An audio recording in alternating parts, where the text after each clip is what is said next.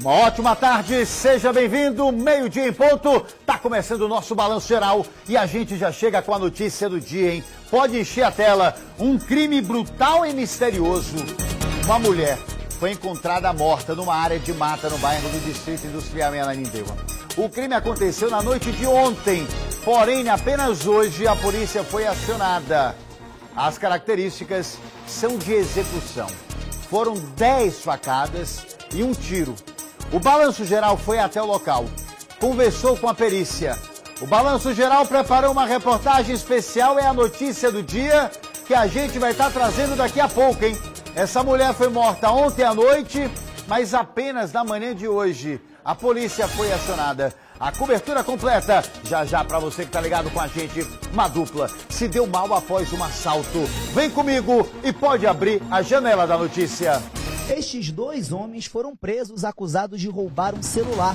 A vítima rapidamente acionou a polícia, que fez o cerco num bairro conhecido como Chapéu do Barata. O lugar é de difícil acesso, por isso outras guarnições da PM foram chamadas para dar apoio.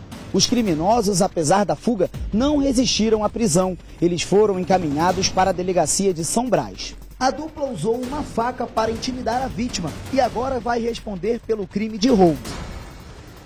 Uma jovem empresária foi assassinada a tiros na PA 140. Este crime chocou a todos, era uma empresária conhecida de muita gente. As pessoas estão assustadas porque aos poucos, né, a informação vai propagando. E aí os amigos vão tomando conhecimento. Aí aquele estado de choque. E o companheiro dela, gente, é o principal suspeito do crime. Ninguém está dizendo que ele é o assassino. Mas ele é o suspeito, a polícia está investigando. Preste atenção. Uma empresária de 28 anos que mora no município de Santa Isabel do Pará, na região nordeste do estado, foi assassinada no quilômetro 6 da PA 140, que liga o município até Santo Antônio do Tauá, também na região.